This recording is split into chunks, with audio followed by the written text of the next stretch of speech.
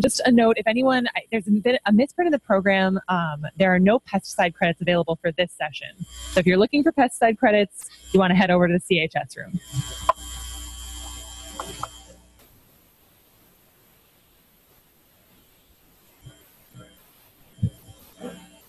All right, let's get started. We've got our first presenter is Manoj Karkee with WSU. He's presenting Mechanism for Bundling and Tying of Red Raspberry Primocanes.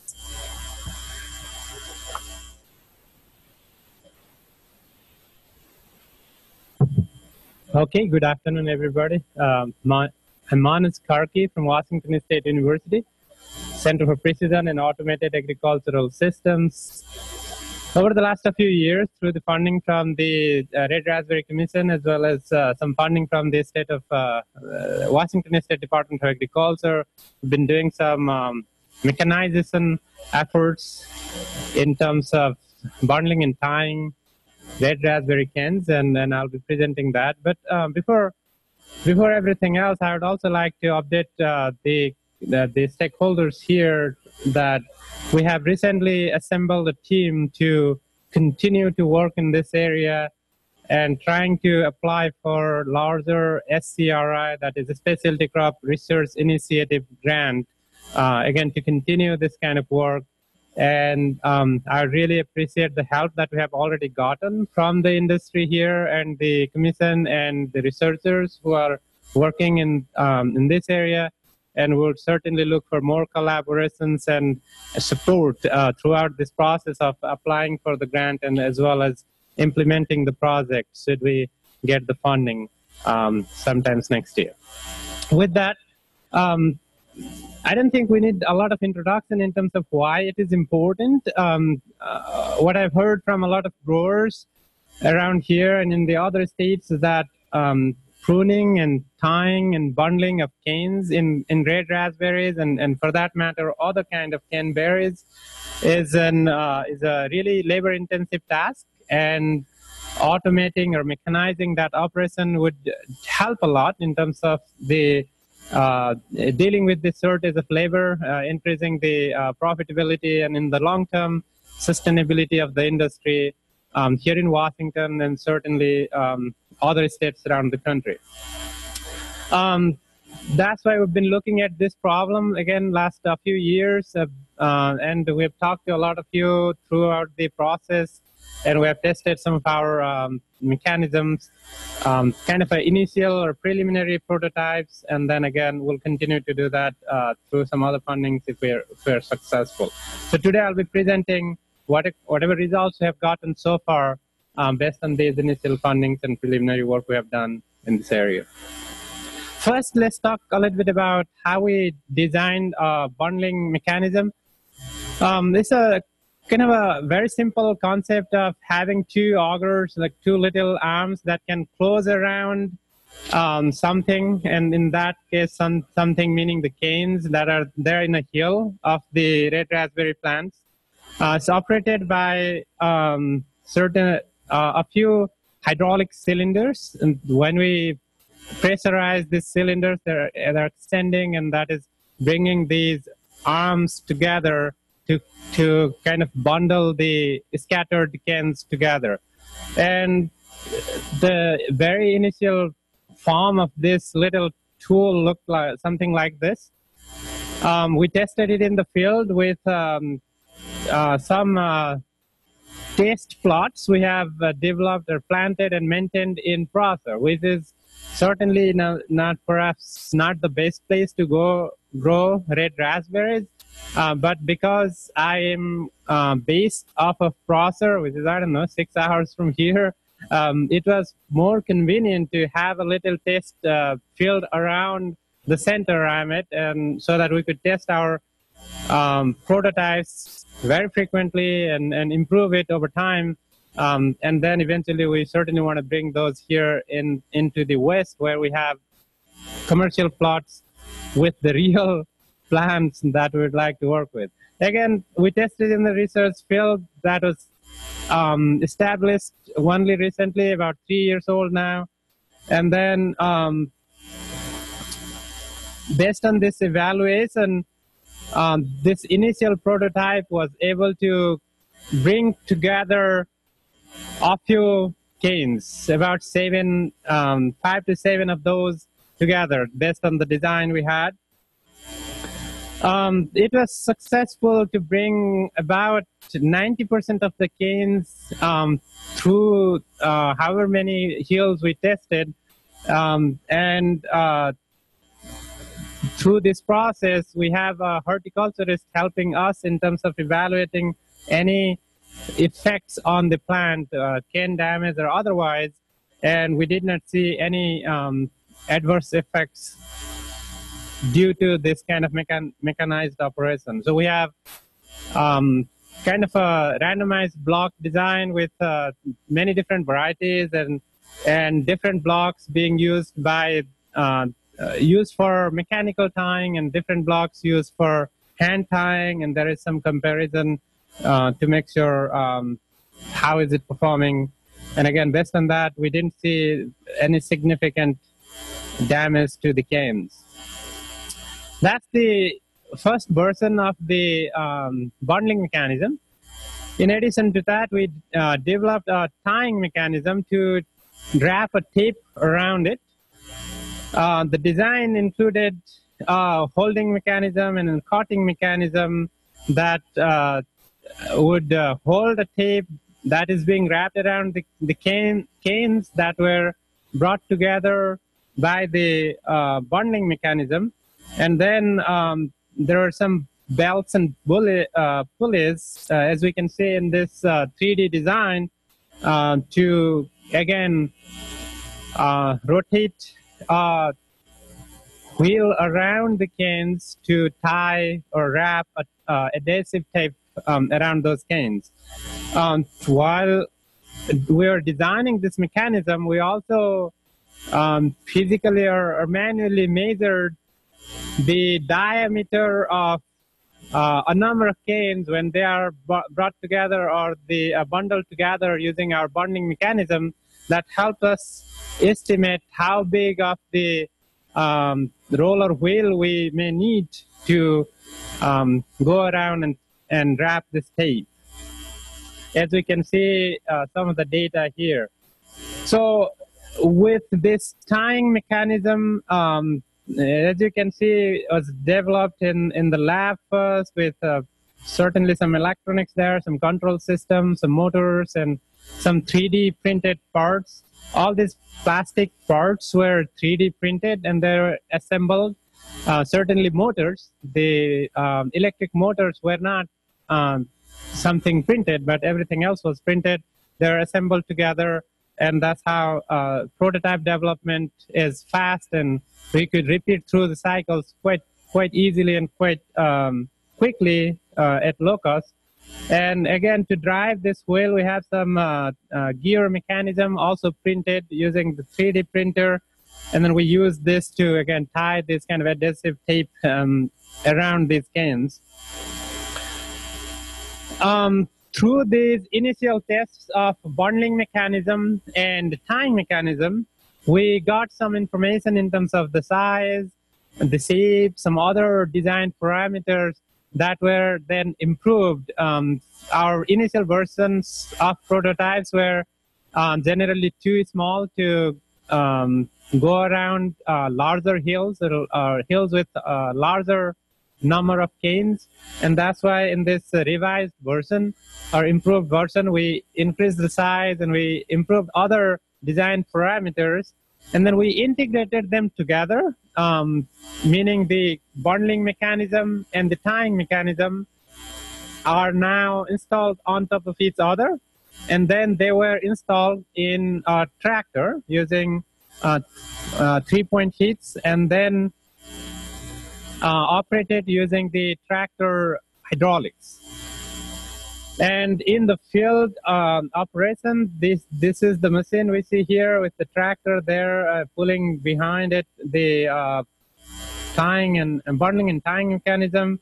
Closer look, we can see the bundling mechanism is around the canes, um, bringing them together. And then after that operation is done, the, um, the roller wheel goes around it to, to wrap the tape around. Um, and the end of the process, the bundle looks something something like that in this last picture here. So this mechanism was tested again in this test field that we have now. Uh, this was tested uh, this last uh, winter. Uh, so our plants are now, I think, about three years old. Um, a little bit bigger hills than before, um, a little bit more number of canes. Um, still, this does not look as uh, um, uh, very close to what we have here. I have visited the industry here a number of times with with some of you and have discussed a lot about this this concept. Um, again, our plants they are not um, as uh, well developed and as big in terms of canopy size and number of canes as it is here, but it's still for our, for the testing purpose, it is providing a very good uh, playing ground.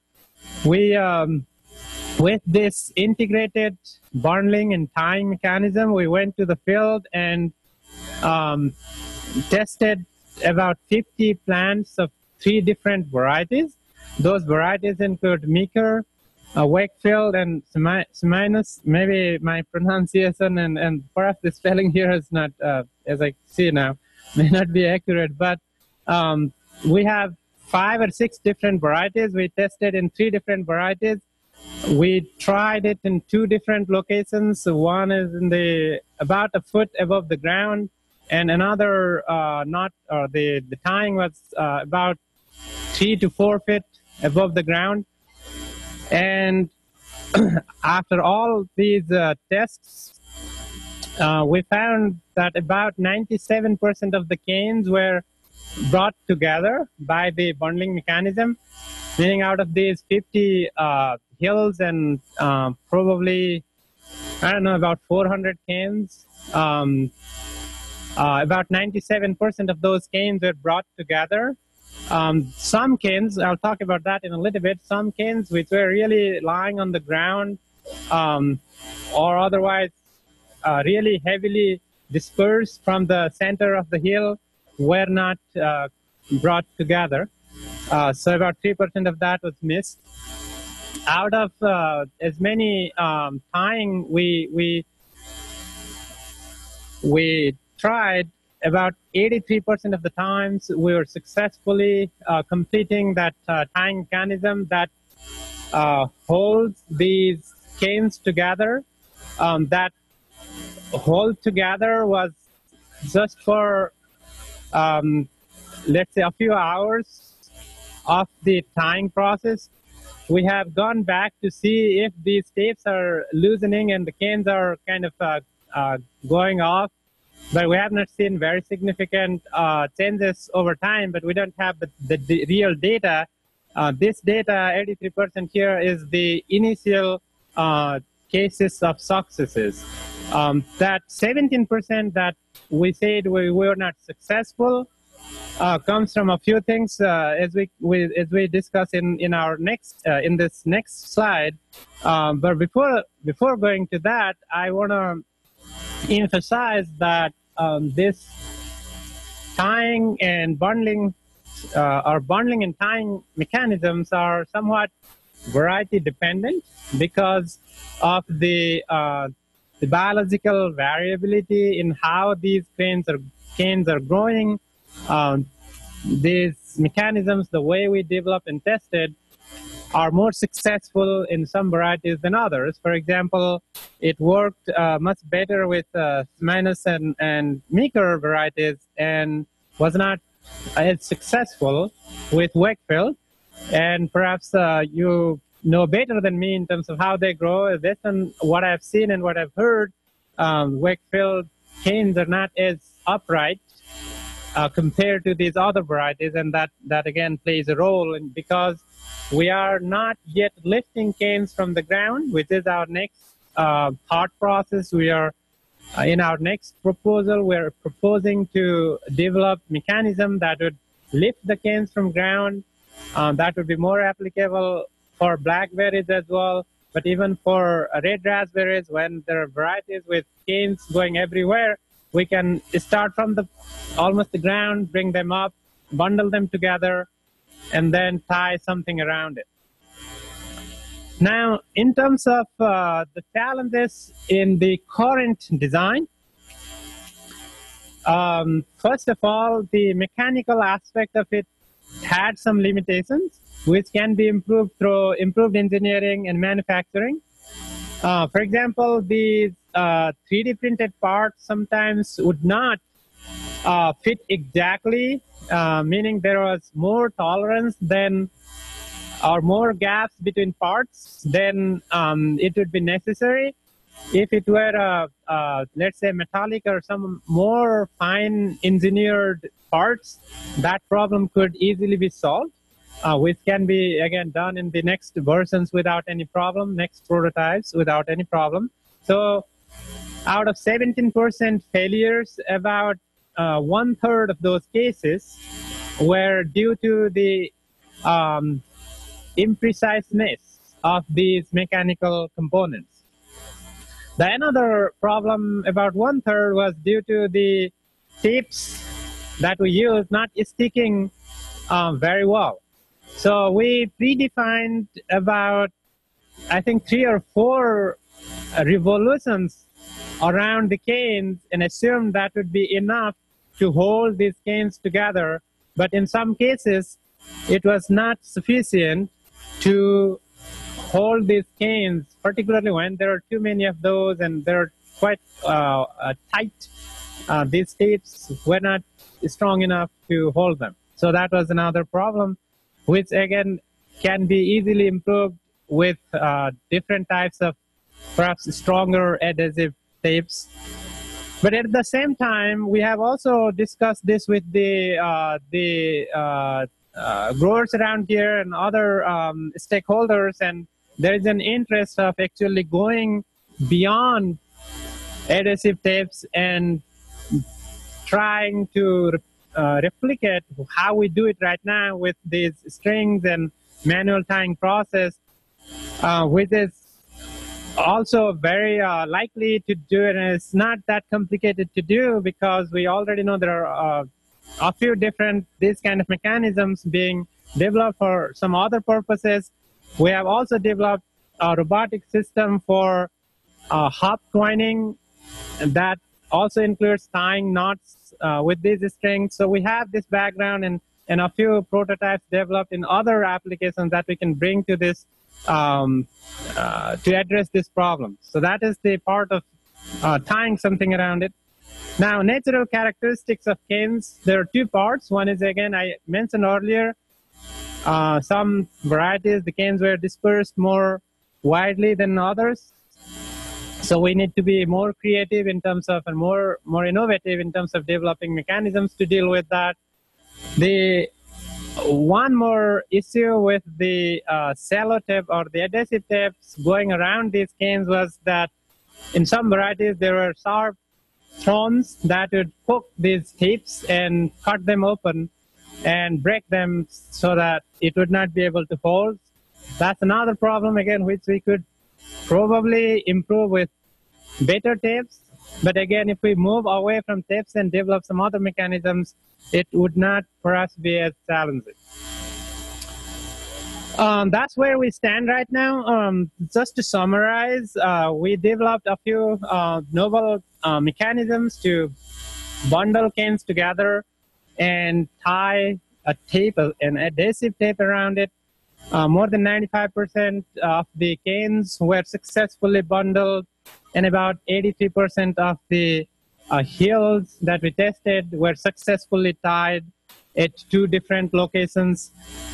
Um, no effect on of mechanical tying and bundling on canes. When I say no effect, uh, it's very minimal effect. I think numerically or quantitatively, there was one or two cases where we broke a cane out of about I don't know 300 canes or so we we um, worked with. Um, so we're saying that's almost negligible.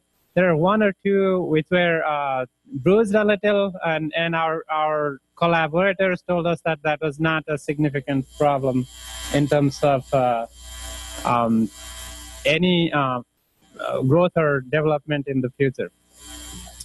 Um, with that, I don't know how I'm doing in terms of time. Um, I have a quick video um, if there is time. Uh, shouldn't be. Um, it's the same concept I described. It's in a quick video, and that we can kind of uh, get a better feel of.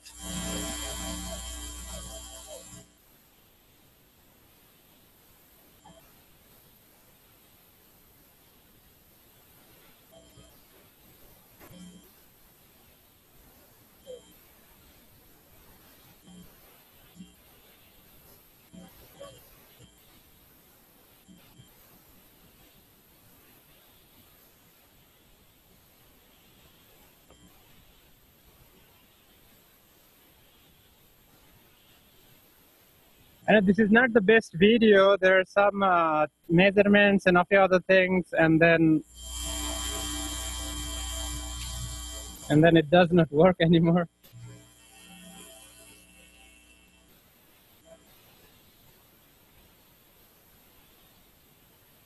Maybe it's it's because the the video is quite heavy. It's not loading as as fast. Um, the speed has not been optimized. This is just the proof of concept. Um, so it goes quite slow, but it still shows how the mechanism is working. Um, with better designs, with better motors, we can certainly increase that speed very, very uh, to, to the level we want. Uh, we know these motors can be really fast, as fast as our hard drive, mechanical hard drive, for example.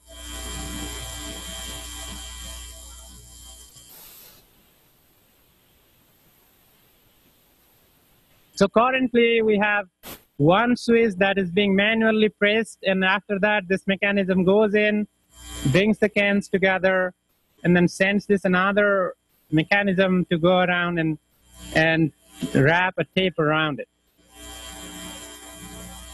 And then at the end of the process, there is a scissor that cuts the tape apart and releases it from the canes.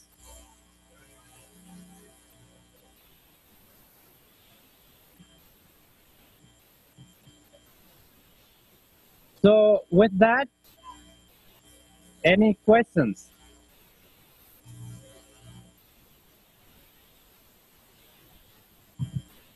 Anyone have any questions? I'm going to ask, uh, we're going to change it up a little bit and have you people, if you do have questions, come up to these two mics in the aisles. Anybody? Well, in that case, And if you you have it anytime in the future, there is my email address right there. And again, thank you very much. And I'll be communicating with a lot of you more frequently as we build this prop proposal that we're trying to build. And then if we're successful in funding, again, I'll be here more frequently than I'm already. Um, and we'll be really looking forward to working with you guys. Thank you.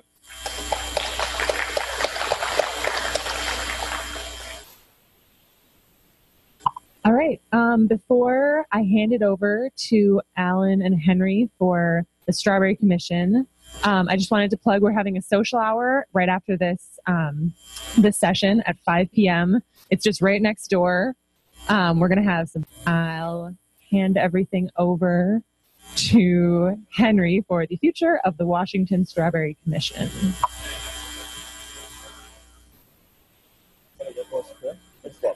Let's Richard.